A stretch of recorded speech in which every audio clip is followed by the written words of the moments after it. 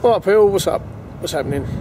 Um, just to give you a little bit of a vlog in what's happening in South London Disco's world at the moment. Uh, as from the 29th of this month, which is Halloween,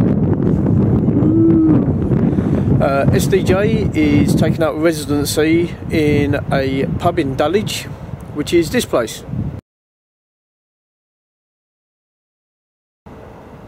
Right, so we're going to be in there um, pretty much every Friday and every Saturday.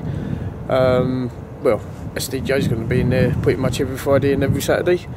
Um, apart from when we get the odd occasional weddings, um, the higher price discos.